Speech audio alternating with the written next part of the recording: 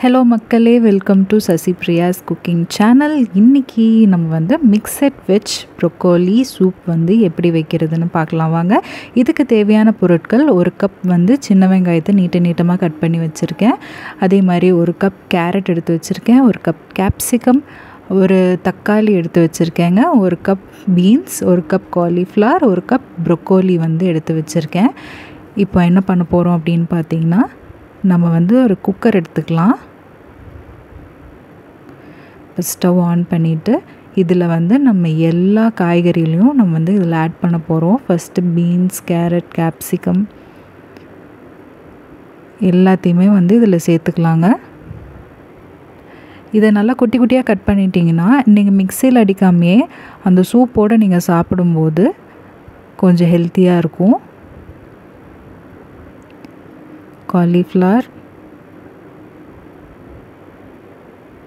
நம்ம நறுக்கி வச்சுருக்கிற சின்ன வெங்காயம். கொஞ்சம் தக்காளி இது கூட. நம்ம அரிசி கழுவின தண்ணி இருக்கு இல்லைங்களா அதையும் இது கூட சேர்த்துக்கலாம். இதை நல்லா மூழ்கிற அளவுக்கு தண்ணி ஊற்றிக்கோங்க இது கூட ஒரு டேபிள் ஸ்பூன் மஞ்சத்தூள் தேவையான அளவு உப்பு வந்து சேர்த்துக்கலாங்க.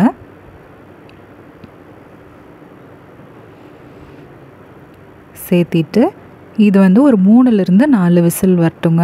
இதை நல்லா கலக்கி விட்டுட்டு.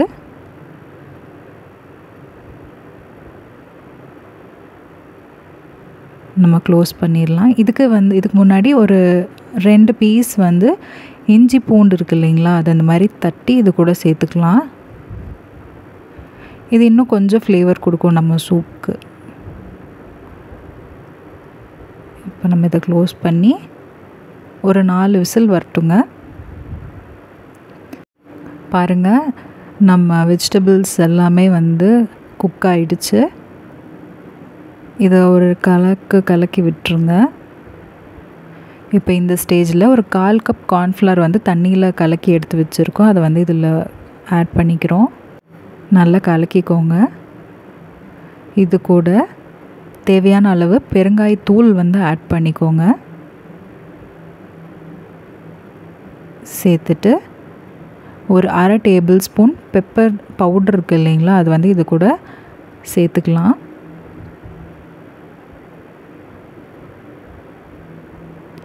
இது நல்லா கலக்கிட்டு இது கூட கட் பண்ணி வச்சுருக்கிற கொத்தமல்லி வந்து சேர்த்துக்கலாங்க.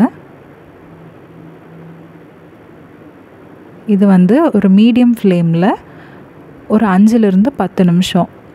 நல்லா கொதிக்கட்டுங்க.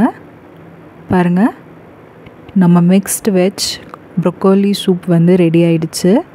இது இந்த மாதிரி ஒரு கப்பில் ட்ரான்ஸ்ஃபர் பண்ணி சூடாக சாப்பிட்டீங்கன்னா அவ்வளோ ஹெல்த் பெனிஃபிட்ஸ் இருக்குங்க. ப்ரொக்கோலிக்கு நீங்கள் சொல்லவே வேண்டாம். இந்த ரெசிப்பியை நீங்களும் ட்ரை பண்ணி பாருங்கள் கண்டிப்பாக நல்லாயிருக்கும் எப்படி இருக்குன்னு கமெண்ட் செக்ஷனில் மறக்காமல் சொல்லுங்கள் and thanks for watching. Please do subscribe our channel.